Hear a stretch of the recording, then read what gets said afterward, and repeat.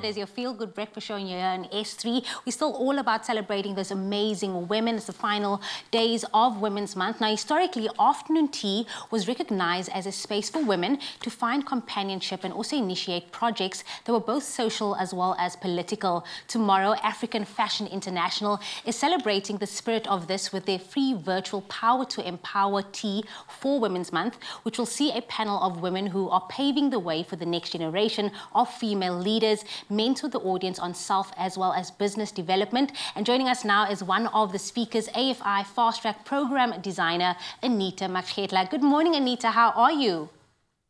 Good morning. I'm very well. How are you? Uh, all the better for connecting with you this morning. It sounds like a brilliant initiative. Before we talk about the broader focus, let's focus on what you do. What inspired your focus on sustainable fashion in your work and the upcycling of old clothes into very valuable pieces now? What was your inspiration? Well, I think I've always been one of those kids who used to cut up my clothes to my dad's absolute chagrin. um, but I think you know, there's always something beautiful about taking something that other people see as worthless and turning it into something beautiful.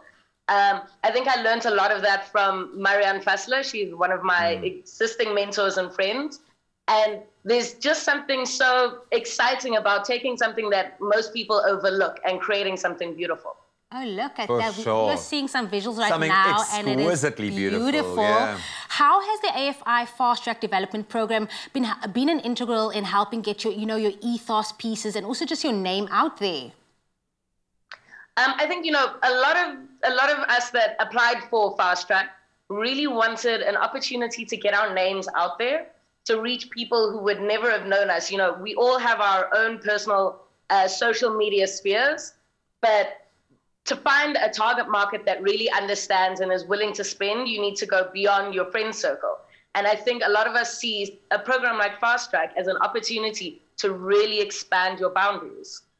Well, I mean, it's being proven. Here you are on national TV talking about it. Clearly, the platform works.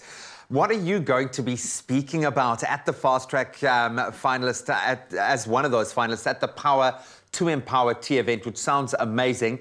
Um, tell us what you're going to be showcasing and what's going to be your narrative for the event. Well, I'll be taking part in discussions alongside some really incredible panelists. But as well as that, me and the other fast track finalists will be showing our um, power looks. And for that, that means like, you know, looks that we consider as empowering looks, the type of things that when you say someone's power dressing, what does that mean? And what are you trying to evoke with that? So us, alongside other AFI designers, will be showing just empowering looks. Love and that. what is power dressing to you, Anita? I think, and I think a lot of us would agree, that power dressing is dressing in a way that makes you feel powerful.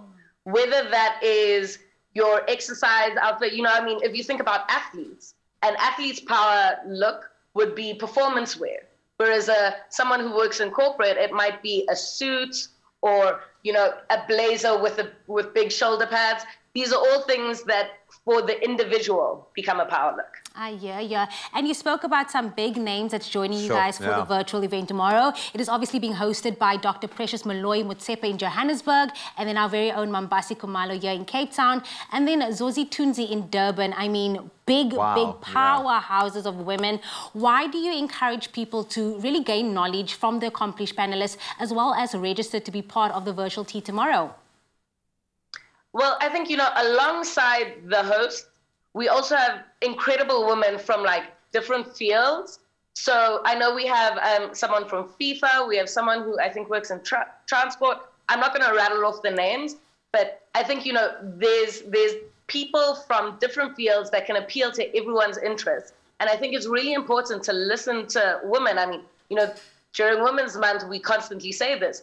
We have to listen more to women. And this is giving everyone an opportunity, a free opportunity, mind you, to listen to women who have done incredible things in their field. And, and I think for, for, the rise, the trajectory of smaller companies for entrepreneurs, mentorship is absolutely vital. So I love the fact that this is being created on a platform on a scale that is this big. Anita, you seem like an absolute gem. Your work is amazing. Enjoy, relish the opportunity to join such an amazing panel. You've certainly earned the right to be there, and we can't wait to see what the future holds for you. But thank you so much for joining us. Thank you for having me. Power, power. Now you can harness your power to empower yourself with AFI's Power to Empower Tea that will be taking place virtually tomorrow, Tuesday, the 31st of August. Register for your free attendance by visiting AfricanFashionInternational.com and you can also apply to be a mentor or a mentee in the AFI Power to Empower Mentorship Program, which aims to cultivate mentorship in different fields. Now registration for this program is also available at AfricanFashionInternational.com.